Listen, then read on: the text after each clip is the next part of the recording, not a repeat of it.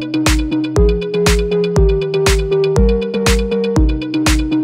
are more than that. So, before I begin that, let me tell you a little story from my own experience.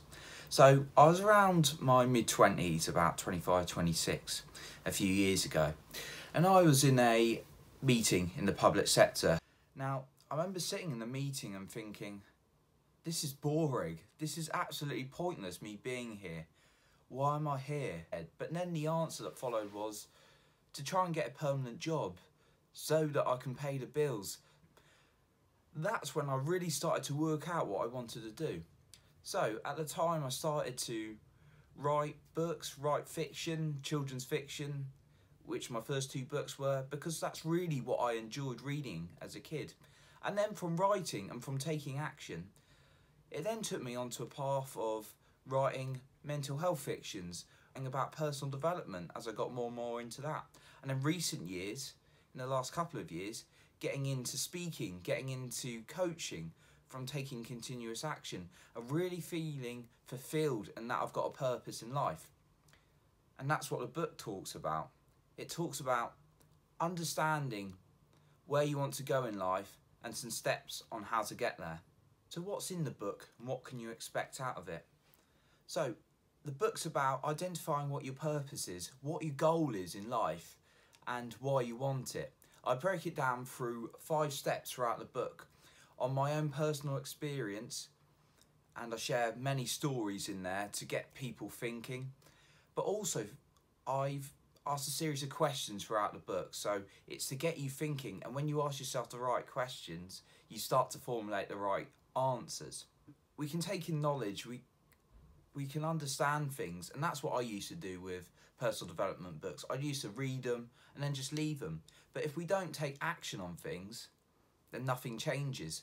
So throughout the book, I not only give my personal experiences and ask the questions to get you thinking, but I suggest a series of actions to take forward. Who's this book not for then? This book is not for anyone who wants a quick win, who wants success overnight, because myself, I've still got a long way to go on my journey, and the journey never ends. So even the people at the top of their field who I admire, the likes of Tony Robbins, Gabby Bernstein, Jason Capital, they're still continually looking to expand their empires, expanding themselves and their goals. So it's not for people who want to achieve a goal and want to achieve it overnight. It's also not for people who don't like challenges because there's always going to be challenges in life. And to get out of your comfort zone, to change your standard life, you're going to have to face fears, you're going to have to face insecurities. And that's what I faced. It's made me come out of my comfort zone and feel fearful at times. So if you're not willing to face that, this book's not for you either. Okay, now I'm just going to break down what the five steps are without going into too much detail because you need to read the book to really understand them. So the first part of the book is your why. Understanding why you want something, and this isn't just, oh, it's going to give me good money, because I go into how fame and fortune isn't the answer. It's your values, really understanding why you want something. Why is it going to be fulfilling for you?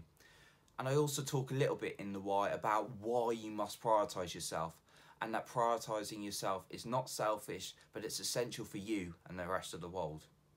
So the second part of the book is the planning. Really organising yourself and writing things down. I go into how essential that is, how you can get from A to B. And it's also about how you organise yourself smartly in a good routine that enables you to achieve your goals. Now, as I've mentioned, there's going to be challenges on the journey. There's going to be things that are going to throw you off guard.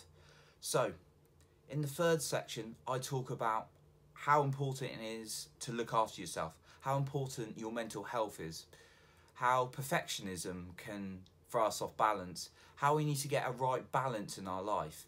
Now, it's not a book or a fiction about mental health as some of my past books are, but it's around how you can look after yourself through various ways, such as your exercise and what you eat. I even go into a whole section on how eating can affect your mental health and your focus.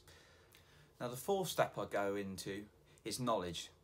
I talk about different sources for knowledge. So whether that's podcasts, whether that's YouTube videos, whether that's the plain simple books that some of us neglect these days, how you can get various sources of information and perhaps the best uses of your time for gathering information.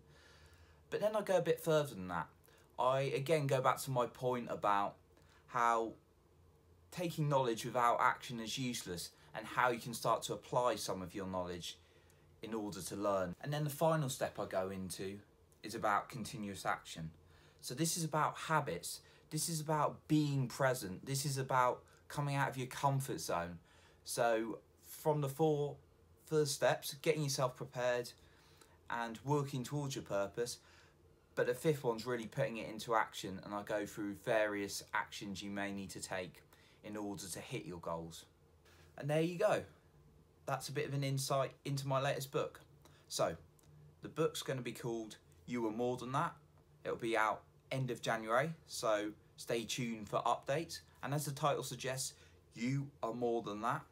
You're capable of so much more than you think. It's just about taking continuous action on yourself, and I give tools and advice for you to be able to do that throughout the book.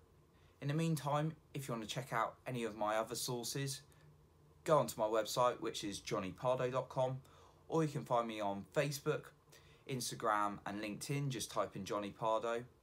Or for any of my previous book, type in Jonny Pardoe into Amazon. And we'll speak soon.